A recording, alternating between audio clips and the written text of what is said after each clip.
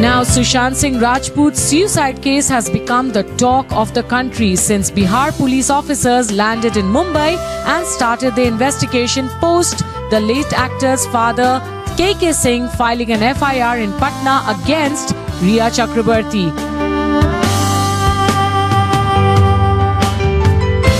While the central government has now accepted the request of Bihar government recommending a probe by the Central Bureau of Investigation CBI in the case, a news portal has revealed the second part of Sushant's call data records.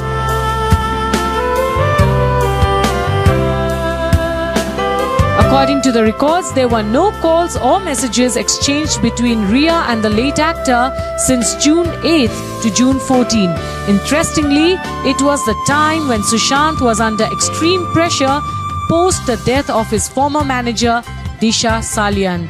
The records reveal that the late actor had no communication with Rhea since his former manager's death on the 8th of June.